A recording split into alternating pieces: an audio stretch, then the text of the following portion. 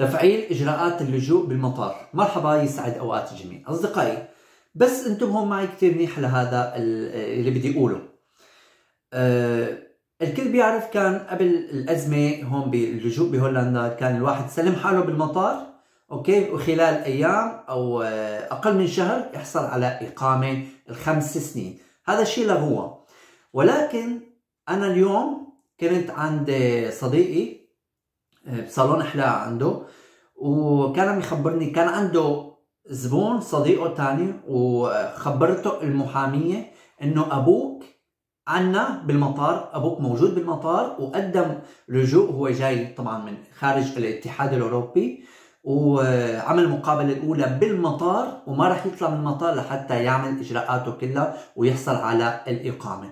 نحن فعلنا مرة ثانية الإجراءات اللجوء بالمطار من 13 5 من 13 شهر آه، ماي شهر 5 آه، طبعا هذا الحكي لحتى ما تقولوا إنه صحيح ولا مو صحيح. هذا الحكي أنا مو من عندي. أنا لحتى حطكم بالصورة. الحكي مو من عندي.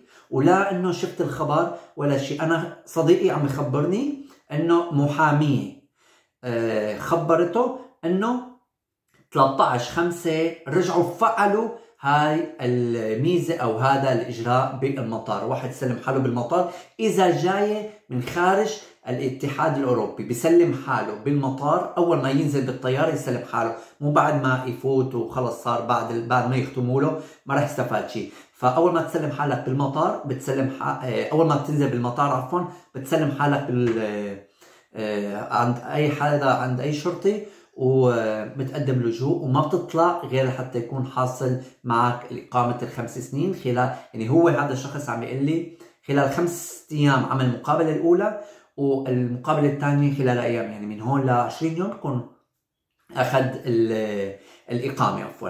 سوري أنا حبيت بس خبركم حطكم بالصورة إنه هيك يعني فأي حدا جاي على مطار أمستردام ترانزيت ولا أي شيء آه، وخارج الاتحاد الأوروبي يسلم حاله وإذا كان هالأمر موجود فعلا فتمشي إجراءاته بكل سلاسة. وإذا لا رح ياخذوك على مركز تير أبل الرئيسي. لحدا يقول لي إنه لا الحكي مو صحيح حكيك مو صحيح من وين نجيب الحكي. أنا هذا حكي من محامية قالت لصديقي. أه أنا حبيت بس يعني اعطيكم يعني بادرة أمل شوي إنه ممكن يكونوا مفعلين هذا الشيء مرة ثانية أوكي أصدقائي آه، اكتبوا لي شو رأيكم بهذا الموضوع. هلا بننتقل لمواضيع ثانية وأسئلة ثانية بهولندا. ترجمة أوراق لم الشمل أصدقائي. انتبهوا كثير منيح لهي الشغلة. ترجمة أوراق لم الشمل. إذا لنفرض أنا بدي ترجم أوراق ل لزوجتي أو لحدا. الترجمة فقط لزوجتك فقط للي بدك تساوي لهم لم شمل. ما بصير تترجم أوراق لإلك. okay؟ إذا بدك تترجم أوراق بتترجم اوراق ل بدك تسوي له لم شمل لا تترجم اوراق لإلك كمان مثلا. إذا بدك تترجم إخراج قيد مثلا ما بت... لا تترجم لإلك إخراج قيد. لأنه أنت هيك هيك نظامي أخذ اقامه شو بدك بالترجمة وتبعتهم فبتترجم فقط لزوجتك فقط لأولادك فقط يلي بدهم يجوا على هولندا لم الشمل. okay أصدقائي؟ أنا حبيت خبركم. ومشان ترجمة الأوراق اسألوا كذا مترجم. مو إذا واحد قال لكم حق الورقة 18 يورو أو 15 يورو أو 20 يورو معناتها خلص هذا هو السعر. اسألوا غيره ممكن يكون في غيره أرخص. أوكي؟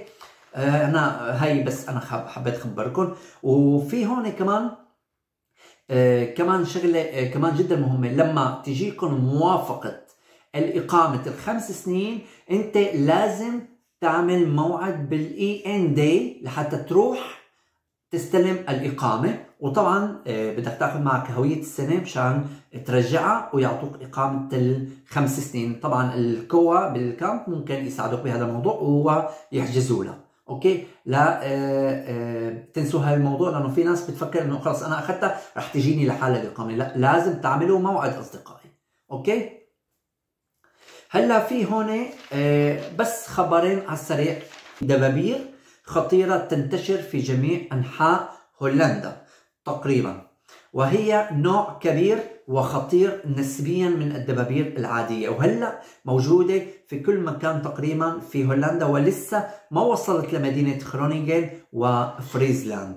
وهذا النوع في آه، الدبابير ضار الصراحة في هون خبر كمان أب مدخن يصيب طفله بنزيف آه، دماغي ولد الطفل مبكرا قبل 8 أسابيع من الولادة وحطوه طبعا حطوا الطفل بحاضنة.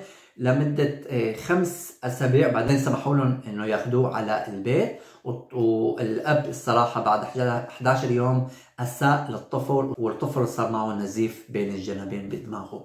فأصدقائي لهون بكون انهيت الفيديو. أتمنى تكونوا استفدتوا سمعتوا الفيديو للآخر سمعتوا كل كلمة أنا قلتها الصراحة. دايما بحب أنا في للجميع بتمنى تكون كمان هذا الأمور تبع المطار إجراءات المطار رجعت تفعلت أتمنى أنا هالشيء ولكن آه هذا اللي صار الصراحة.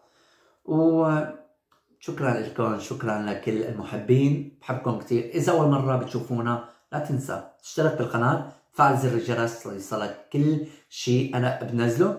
وان شاء الله نستمر معكم بنفس المحتوى. تحياتي سعد أوقاتكم.